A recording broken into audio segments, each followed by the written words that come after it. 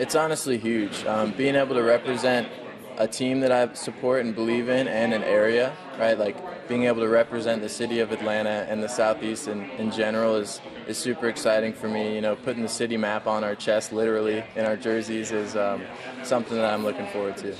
So I'm curious because, you know, obviously he comes from a family of, of rugby players. How did you kind of first initially get interested in rugby? So I had an English friend um, growing up in high school and I finished football, and I wasn't sure, you know, if I wanted to go play at the next level or what. So I took the opportunity to go play rugby. Instantly fell in love with it, and um, never looked back. I was kind of teasing him.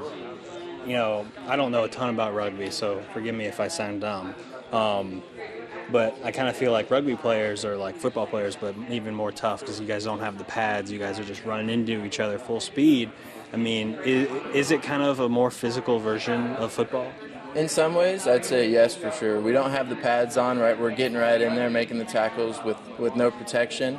Um, one thing that we don't do that football players do is just kind of bash. Like, right, they look for shoulder charges and kind of putting your head right in their chest. But if you don't have pads on, you don't have a helmet, um, you're going to be a little more you know technical about your tackling skill. So that's one thing that our coaches and rugby players across the board preach is that technical skill of tackling and making sure we're doing it correctly to avoid injury. So if you're doing it correctly, it's not as dangerous as it looks. Absolutely. I mean, there's always, you know, there's going to be injuries. It's a contact sport. You're going to get um, some, you know, cut up eyes or shoulders going out, things like that. But it's it's definitely a lot safer than it may appear to the, you know, to the viewer. Now, one thing I've always wanted to know: what's it like in a scrum?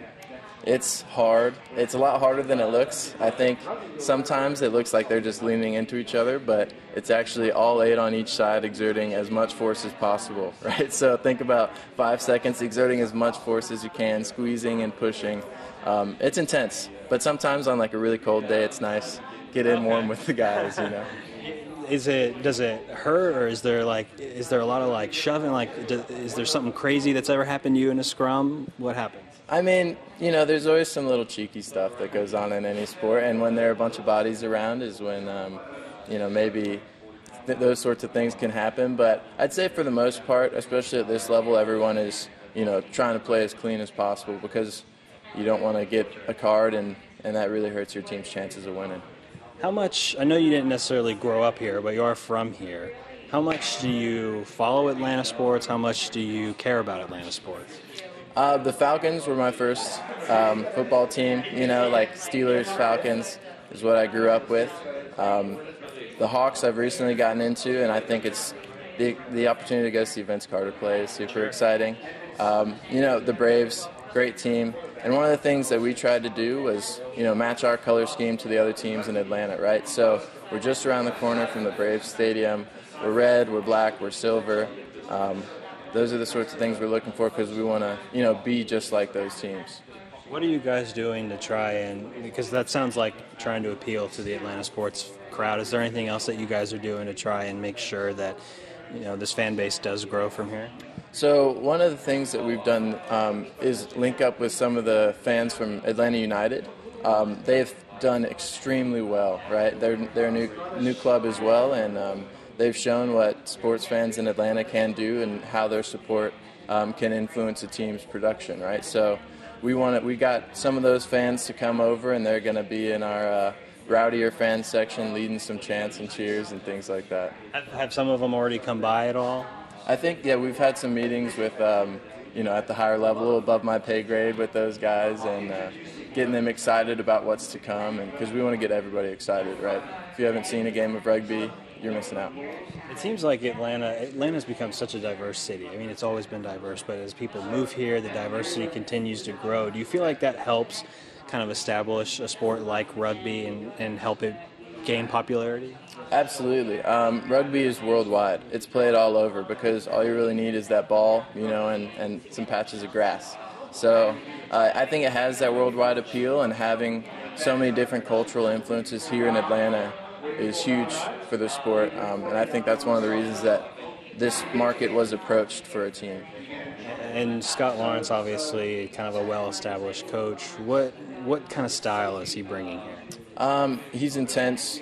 he cares about his players and their production, um, and he he's a very straightforward guy. Wants to get the job done.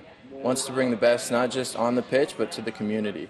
So we're doing community events. We want to be a part of the Atlanta community, not just a team that's in it. Last one. Um, this city loves championships, loves titles, but they don't really get any. Do you guys think that you'll be able to kind of deliver on that? That's absolutely a goal every season, right? We want to we want to strive for the best, and the best is a championship. So if we can bring that to the city of Atlanta, we're more than happy to. I lied. I got one more because I, I saw the stuff on social media about the Beast. She mentioned the Beast.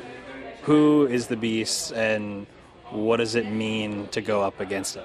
So for me, I'm super excited to be able to play against you know someone of his legacy and caliber. Um, he's a South African prop. He's a beast, as the name denotes. So it's exciting to have that opportunity, right? To be able to play against someone who's considered one of the best. Will he kind of help legitimize this league as it continues to move forward?